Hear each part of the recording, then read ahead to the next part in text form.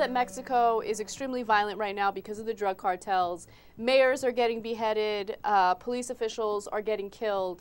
Uh, so it only makes sense that a 20 year old girl named Marisol Valles Garcia is the new police chief of a town in Juarez, Mexico. Uh, yeah, she. Uh, nobody else applied. It's in Guadalupe, and so she stepped in and she's like, "Yeah, I'll take it. I'll be the new police chief." She's 20 years old. Uh, she thinks she's going to overcome um, by bringing people together, etc. I love her. I'm scared to death. No, I am too. No, don't do this. Yeah. This is okay. By the way, the mayor of Guadalupe got killed. Yeah. Okay, he was murdered by members of drug cartels. Yeah. If it was my daughter, I'd be like, oh, yeah, that's cool. Hey, that's a great idea. Let's just go on a trip to, like, I don't know, California or somewhere. It's not a big deal, Honduras, wherever. Mm-hmm. And I lock her up. Okay, and I don't let her out. There's, no way I'm going to let her be the police chief of Guadalupe. No way. Mm-hmm. Okay, if that's my daughter. Uh, don't get me wrong. I think she's enormously brave. I'm 100% behind her. I think she's fantastic. And I hope to God it works, right? Uh, just wow.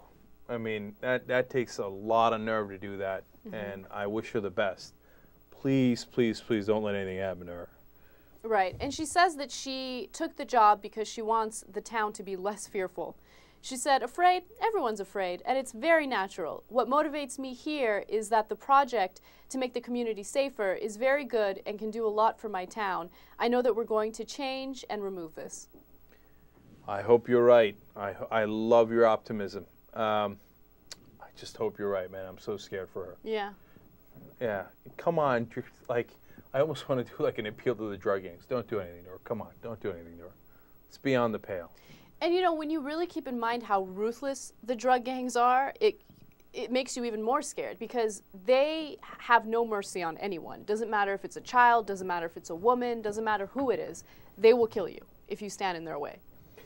Yeah, look, uh, if something happens to her, if you think I want a warpath now over uh, the war on drugs, wait till you see me that. Okay, I mean, look, come on, how dumb is this war on drugs? I,